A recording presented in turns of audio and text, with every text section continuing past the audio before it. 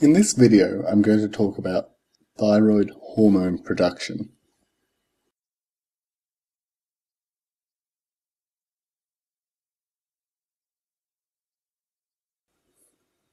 The thyroid gland is located in the neck, in the lower part of the neck. So if this is someone's head, it's located down here. And it sits in front of the trachea. Now, in the thyroid gland, there are these little kind of apparatuses which consist of a ring of cells surrounding a ball of fluid. Now, this fluid is in the lumen uh, and we call it colloid.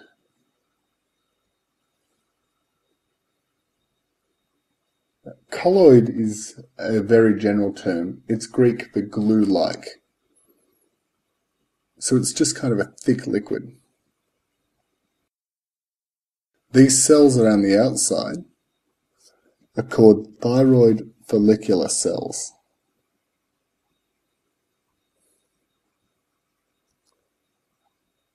And this whole apparatus is called a thyroid follicle. So I'm going to take a section through here and blow it up down here.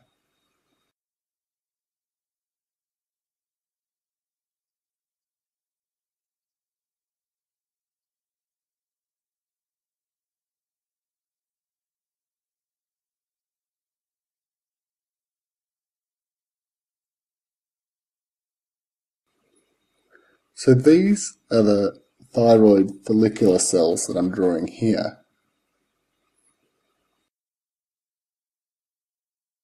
And this is a lumen in here of the follicle.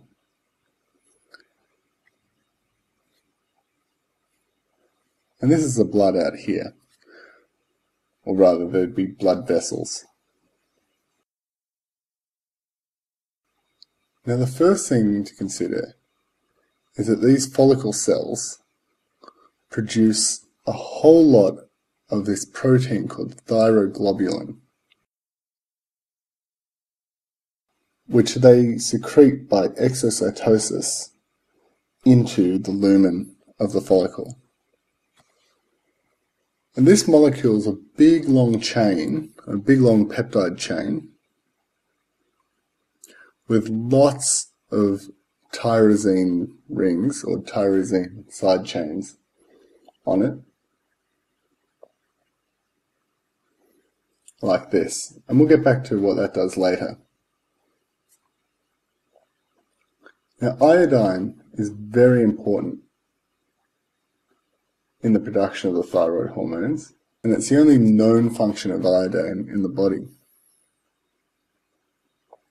And iodine is brought into the cell in this NIS transporter, which is a sodium iodide symporter.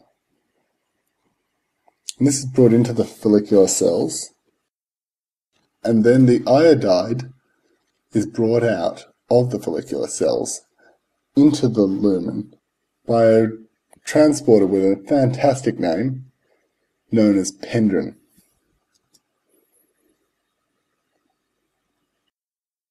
So once the iodide's in the lumen, it gets converted into atomic iodine by an enzyme called thyroperoxidase. So here's our atomic iodine here. Now, along with the thyroglobulin, these come together and the iodine attaches to various spots on the thyroglobulin. And it attaches to these tyrosine rings, and it can do this in one of two ways.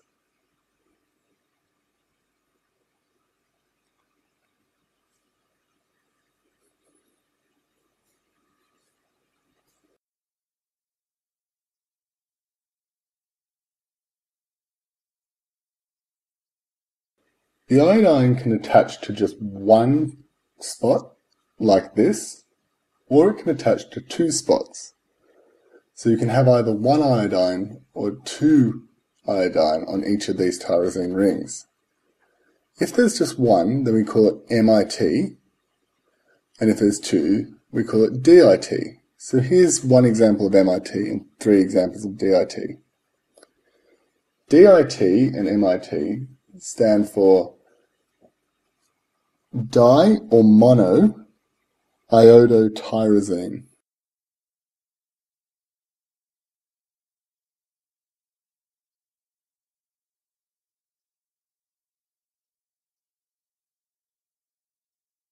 Now these tyrosine molecules can be joined together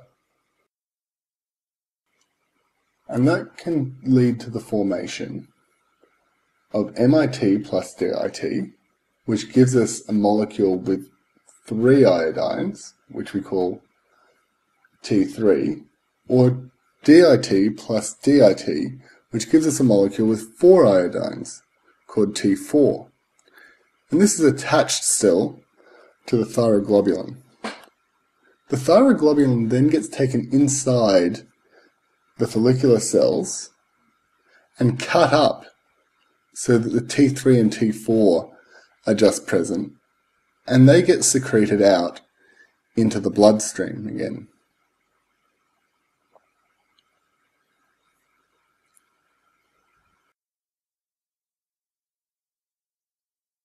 Now T3 stands for triiodothyronine. And T4 stands for tetraiodothyronine, but it's more commonly called thyroxine. And that's an overview of thyroid hormone production.